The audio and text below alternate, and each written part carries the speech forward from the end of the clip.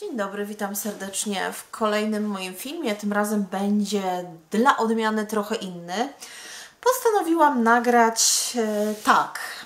Niezbyt często się to zdarza na moim kanale, natomiast myślę, że tak jest bardzo fajny i nosi tytuł Perfect Subscriber.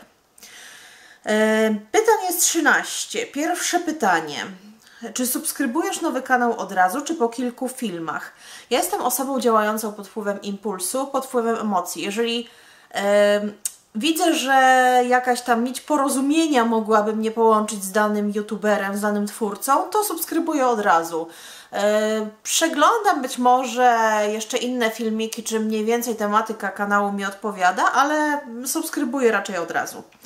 E, pytanie drugie. Czy pamiętasz Pamiętajcie o subskrypcji na Ciebie działa. E, no działa na mnie, jeżeli mam ochotę dany kanał zasubskrybować. Jeżeli nie, no to jeżeli ktoś mi powie, że żebym zasubskrybowała, to i tak nie zasubskrybuję, jeżeli mnie właśnie e, nie interesuje zawartość kanału. E, numer 3. Czy masz włączony dzwoneczek powiadomień? Na ilu kanałach? I tutaj się muszę przyznać, że niestety bardzo często zapominam o tym dzwoneczku szalonym. E, no zapominam i nie włączam. Mam chyba tylko na takich, no naprawdę, które mnie bardzo interesują kanałach włączony ten dzwoneczek, nie na wszystkich. Numer 4. Czy oglądasz każdy film w subskrypcjach, czy tylko wybrane? Nie, nie każdy. Zdecydowanie wybrane. E, no, musi, musi być coś interesującego e, w tym filmie, żebym go włączyła. Także nie wszystkie filmy oglądam. Numer 5. E, ile jest takich kanałów, których oglądasz każdy film? Niewiele, szczerze mówiąc. E, I tutaj chciałabym wymienić e, no, takich moich ulubionych youtuberów polskich, którzy teraz przychodzą mi na myśl. Jest to Wrubela, jest to Angelika Niedbała, mm, ma bardzo fajne vlogi z niesamowitym klimatem, w ogóle jest taką ciepłą, fajną, kobiecą osobą. Tak, Angelika jest takim, taką chodzącą kobiecością, tak bym to powiedziała. Także Angelika Niedbała, Wrubella, e, pod spodem umieszczę linki do kanałów dziewczyn. E, oprócz te, tych dziewczyn jeszcze pewnie znalazłoby się kilka, ale w tym momencie po prostu mi to umknęło.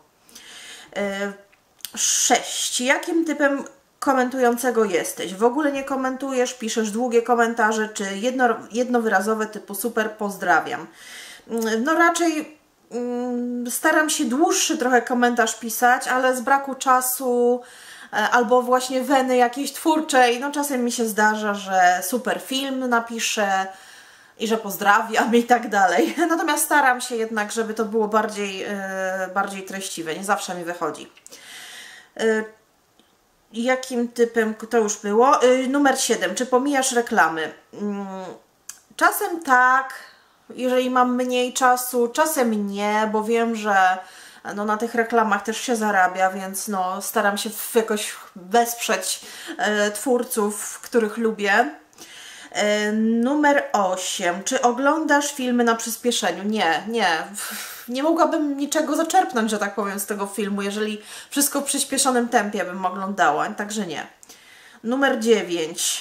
Um, czy klikasz w linki, jeśli wiesz, że są afiliacyjne? Oczywiście, że tak. Jeżeli potrzebuję czegoś, jestem zaciekawiona jakimś produktem, to nie rozumiem problemu, żeby kliknąć w taki link. No po prostu klikam i tyle. Jakiej długości filmy lubisz? To pytanie dziesiąte. E, no, jeżeli jest bardzo interesujący film, jeżeli e, lubię danego youtubera, to nie przeszkadza mi nawet półgodzinny film, szczerze mówiąc. Mm, nie, zupełnie mi nie przeszkadza. Numer 11. Dajesz kciuki pod każdym filmem? Często zapominam niestety biję się tutaj w pierś, ale no zapominam często i no i tak to jest. Ale jak tylko sobie przypominam, to zawsze, zawsze w górę. E, 12 pytanie. Hmm. Jak często dajesz kciuka w dół? Nigdy. W zasadzie nigdy. Jeżeli, jeżeli coś mi się nie podoba, no po prostu omijam, przechodzę dalej i, i tyle. No nie wiem, co ten mój kciuk w dół y, miałby zmienić, tak? Chyba, że jest to jakieś bardzo kontrowersyjne E, film, tak? Jakiś taki, no, no, no nie wiem, co by musiało być na tym filmie, żebym dała kciuk w dół. Ale raczej nie, raczej nie. Jeżeli już zostawiam, to kciuka w górę. Um, 13. Czy udostępniasz filmy innych twórców? No raczej nie, raczej mi się nie zdarzyło chyba. Chociaż kiedyś chyba vlog Lola jeszcze oglądałam i, i chyba na Facebooku udostępniałam. Kiedyś mi się zdarzyło, ale w ostatnim czasie w ogóle. Także tak, to było 13 pytań, dość ciekawy tak. Hmm, nie będę tagować konkretnych osób, e, które miałyby nagrać te filmy. Jeżeli oglądasz ten, ten film, jesteś twórcą e, na YouTubie, to zapraszam w takim razie do odpowiedzi e, na te pytania. Pozdrawiam serdecznie, do miłego zobaczenia.